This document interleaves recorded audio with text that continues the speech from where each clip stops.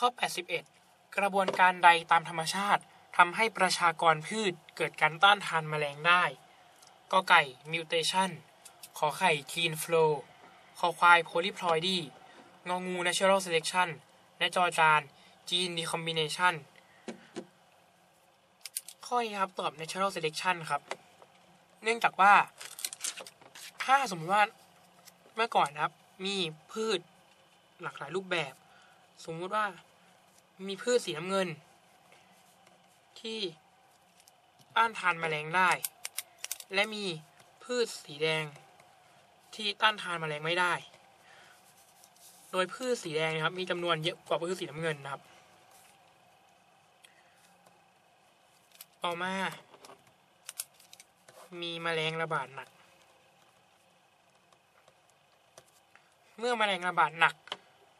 พืชสีแดงก็จะล้มตายไปนะครับ ก็จะเหลือแต่พืชสีน้ำเงิน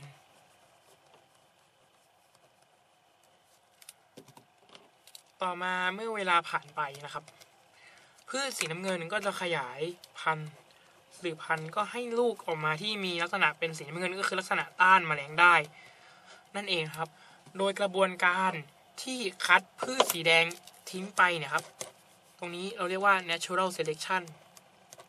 คือการคัดเลือกโดยธรรมชาติหัวใจหลักของ natural selection นะครับ คือ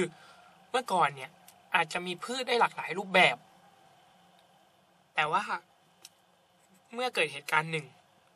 จะทำการคัดเลือกเฉพาะพืชที่มีลักษณะที่เหมาะสม หรือสิ่งมีชีวิตที่มีลักษณะที่เหมาะสม ให้อยู่รอดต่อไปเพื่อสืบพันธุ์ได้ โดยลักษณะที่เหมาะสมนั้นก็จะถูกถ่ายทอดมายังลูกรุ่นลูกรุ่นหลานต่อไปนะครับ ดังนั้นข้อนี้จึงตอบคำตอบข้อที่บอกว่า natural selection ครับ ส่วนข้ออื่นนะครับ mutation mutation เนี่ย ต้องเกิด mutation ในเซลล์สืบพันธุ์เท่านั้น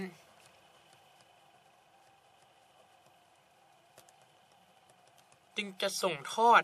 ถ่ายทอดให้รุ่นต่อไปได้ เนื่องจากถ้า mutation ไม่ได้เกิดในเซลล์สืบพันธุ์ถ้า mutation ไปเกิดในเซลล์ร่างกายธรรมดา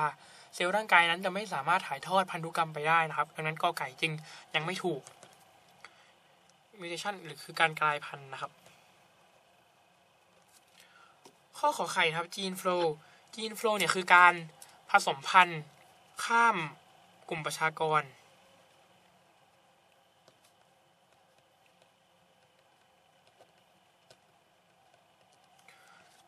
อย่างตัวอย่างของ gene flow นะครับ สมมุติว่าผมมีพืชอยู่กลุ่มหนึ่ง อยู่ที่ทุ่งหญ้าหนึ่งตรงนี้ครับ แล้วก็อาจจะมีแม่น้ำขวางกันอยู่ แล้วก็จะมีทุ่งหญ้าอีกทุ่งหนึ่งทุ่งที่สองอย่างนี้ ถ้าสมมุติว่าเกิดมีพึ่งผสมเกสรนะครับนำเกสรจากตรงนี้ไปถ่ายตรงนี้ อย่างนี้เรียกว่าเกิด gene flow นะครับ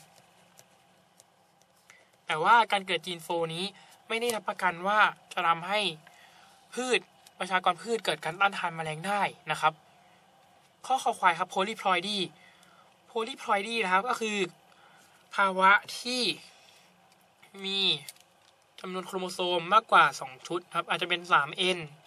4n 5n 6n ก็ได้นะครับ แต่ว่าการเกิดโพลีพลอยดีนั้นไม่ได้ทำให้เกิดลักษณะใหม่ๆ หรือลักษณะการต้านทานแมลงได้ครับ ส่วนกีนีคอมบิเนชัน